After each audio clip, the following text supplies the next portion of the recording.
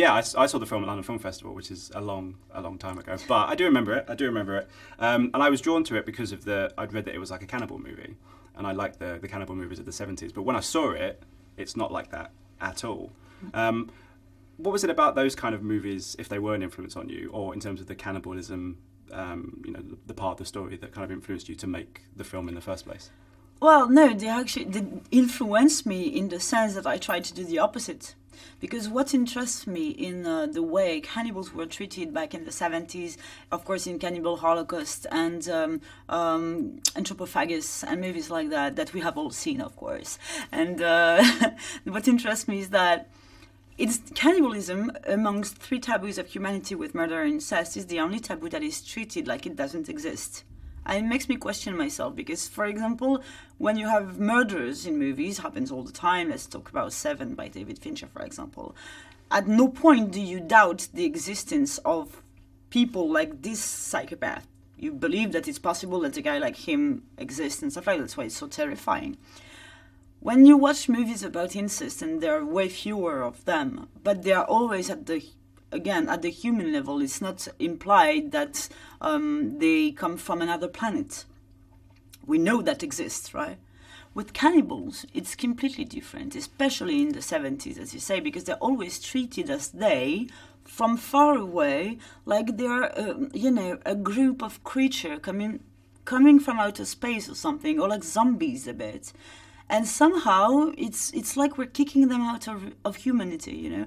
And it's it got me thinking why is it the only taboo that we do not want to tackle directly you know? And that's where it all came from you know the idea to replace they by i you know? And to try to um, study and understand these edges of humanity that we do not want to see and why do we not want to see that one in particular I think it's because it's too close to us, and that's why we want to be so far. I was gonna say it's like it's like they were kind of in the seventies. I guess with these movies, they were put with zombies, and that they're something else, and that you know that that's how they that's how they should be treated. But in this, obviously, you treat it like a real, as you say, a real thing. But you also have loads of other elements in there, like so it's comedic. You've got the body horror stuff and all that kind of stuff. How much of a challenge was it for you on your first feature to put all of those things together? It was a big challenge, but I must say because I, I wrote for three years this movie, which is a long wow. time. And the reason why it took me three years to write it is because of all this balance between the genres, you know, in order for not have one that overtakes the other one and for them to blend um, in a unified way and that goes in the sense of my character's journey, you know, towards her identity, in her quest for identity. So that was not um, an easy thing to do. However, the mix of these genres for me is really my own language. I mean, the, since the first moment I started making shorts in film school, what I did without setting myself up like, oh, I'm gonna mix genres, just like what came out of me was a mix of genre. And I think it's also because the movies I like the most in life are movies that take me from one emotion to another without seeing it coming, you know, like you're in a roller coaster. And I really like that. I like to feel full at the end of a movie. I like to feel alive, that I've been like crying, scared, laughing and stuff. I, because this is also what life is about, you know. And um, and so it's it, it is it's hard it, it is hard to balance, but for me it's really a matter of how you see life. And I do see life like this mix of emotions. Let me ask you about uh, casting Garance. Mm-hmm, perfect. Uh, there we go. Fantastic. Mm-hmm. Got it right. Because um, it's one of those roles that she has to really kind of throw herself into it and really be connected to you and obviously to the to the material. What was it about her? Because I know you worked for her before. What was mm-hmm. it about her that made her perfect for for the role for this one?